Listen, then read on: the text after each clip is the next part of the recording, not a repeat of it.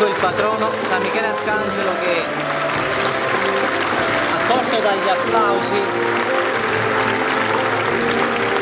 della folla festante